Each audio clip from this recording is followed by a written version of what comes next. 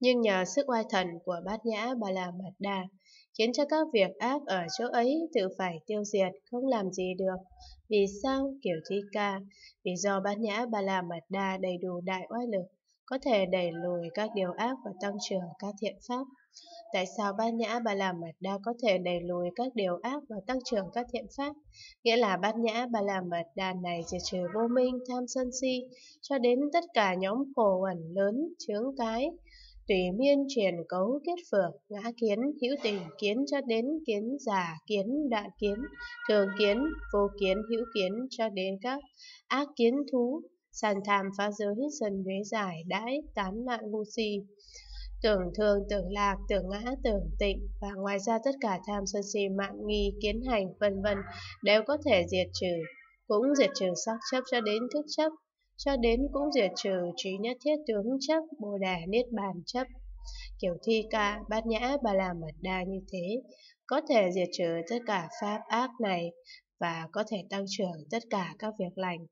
Vì vậy bát nhã bà la mật đà có vô số vô lượng đại oai thần lực lại nữa, kiểu thi ca. Nếu hữu các thiện nam, thiện nữ vân vân nào đối với bát nhã ba la mật đa này, trí tâm lắng nghe, thọ trì, đọc tụng, tinh cần tu học, suy nghĩ đúng lý, viết chép giảng giải, tuyên thuyết, lưu truyền rộng rãi,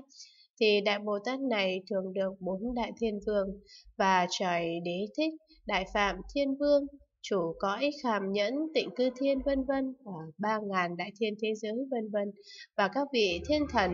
cùng đến ủng hộ ngăn chặn tất cả tai họa ngang trái làm não hại, như pháp sở cầu đều được đầy đủ,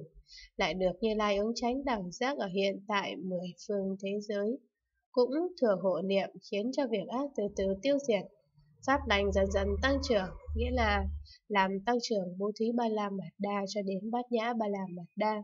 Như vậy cho đến trí nhất thiết, trí đạo tướng, trí nhất thiết tướng cũng làm cho tăng trưởng. Dùng vô sở đắc làm phương tiện, nên việc tu, việc trụ thường không tồn giảm thối lui.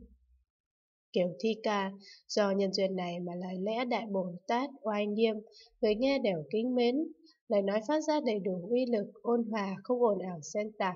thân cận bạn lành, rất biết báo ơn, không bị san tham tật đố sân giận phú não, cuống xiễm, kiều mạn vân vân che khuất nơi tâm. Kiểu thi ca Đại Bồ Tát này tự có thể viện ly